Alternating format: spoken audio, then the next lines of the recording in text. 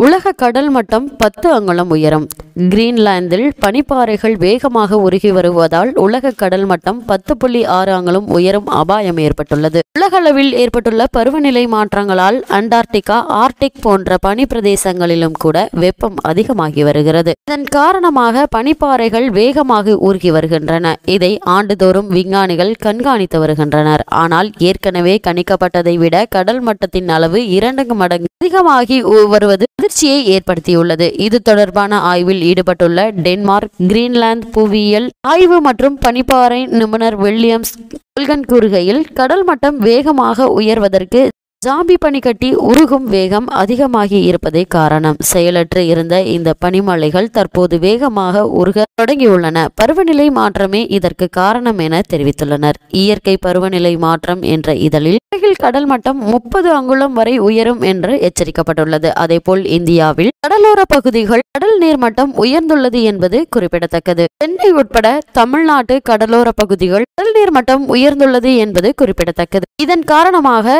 நிலப்பரப்பு குறைந்து கொண்டே வருகிறது. தகுந்த முன்னெச்சரிக்கை நடவடிக்கை எடுக்கப்படவில்லை என்றால் இன்னும் கடல் நீர் மட்டம் உயர்வதற்கான வாய்ப்புகள் அதிகம் இருப்பதால் மட்டுமில்லாமல் நிலப்பரப்புகள் குறைவதற்கான அபாயமும் ஏற்பட்டுள்ளது. இந்த தகவலை புவியியல் ஆய்வு மையம் தெரிவித்துள்ளது.